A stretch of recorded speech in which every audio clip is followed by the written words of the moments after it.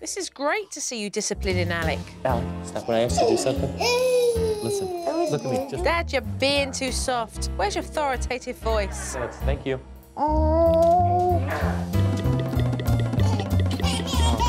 You did not listen. You understand? Tim, you're rewarding him with communication. Put him back and walk away. Five minutes, I'll let you know.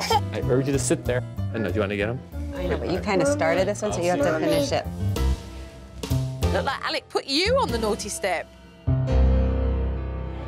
Why is it difficult for you to be able to adopt an authoritative voice with Alec when implementing discipline? You know, that's a good question. I think the answer to that is I hate to be viewed as just the disciplinarian when I first embrace them. You know, so when I'm coming home from work, uh, then all of a sudden I become, you know, the warden. Millions of working dads have the same problem as you do. Mm-hmm. When they come home, the last thing they want to do is to enforce discipline. They've not seen them all day, and the first thing they want to do is to be able to have fun with the kids. Absolutely. But as long as you hold that subconsciously on your shoulders, mm-hmm. you're going to carry on, not enforcing discipline when necessary. Make sense? Yeah, absolutely. Here we go. This is like a disaster area. Come here. It is part what we're going to do before dinner. Yep, we're gonna do it. Dad? Bryce is giving me some Thank assistance. you. He's gonna put it, help me put this stuff away. Oh no. Okay. Stop. Here's what You I'm go and deal with it because Dad's going to deal with it. Okay. I'm going in the Listen, listen. No, I asked for your assistance, and you're helping me. All right, Dad, Yep. leave him. Don't strain him down. Okay? Stand up, Bryce. Dad had to give him a warning and follow through. And off Bryce went to the naughty step. Place him on the step outside and then explain why you put him there. You're sitting on this naughty step. You know why you're sitting on the naughty step? Is because you have not listened to Daddy when I asked you to come there. You got it? And I will sit, I will call you when it's five minutes. You're sitting right at the step. Do you understand? Thank you. Dad, let's go. Let's go. Don't, no, no, no talking. No talking to, him, remember? He did try to test those boundaries and he got off from the step. Bryce, on the step. No step. talking, Dad, to Bryce. You're communicating with him and that's rewarding him Mm-hmm. with your attention. Oh, look. Five minutes is up. Daddy, why is it taking so long?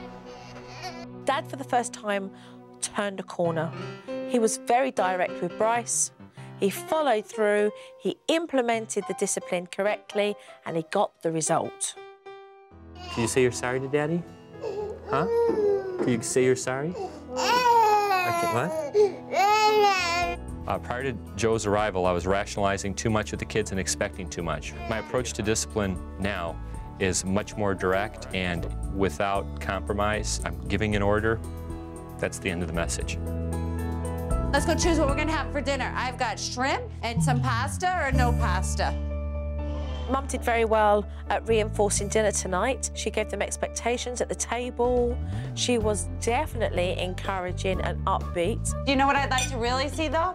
You using your fork. That is what I'd really like to see. Can you use your fork? Let's see if he could. I. Yeah, when you're done with the shrimp and the peas.